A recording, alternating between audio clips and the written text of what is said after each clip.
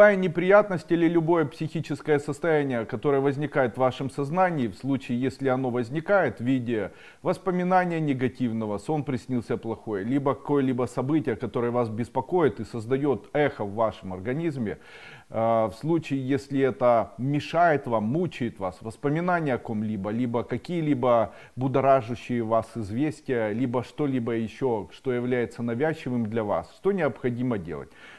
Попробуйте склонить голову и смотреть вниз. Попробуйте второе, представить это событие, которое мешает вам нормально существовать, будто вы его видите перед собой. Так, как будто оно располагается под вашими ногами или возле, впереди вашего тела.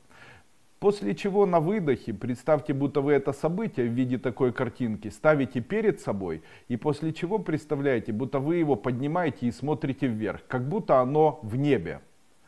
Обещаю вам, что любое событие, которое мешает вам нормально существовать, если его снизу переносить вверх, то оно после этого растворяется и, и больше не мешает вам жить. Это проверенный факт такой, пожалуйста, пользуйтесь.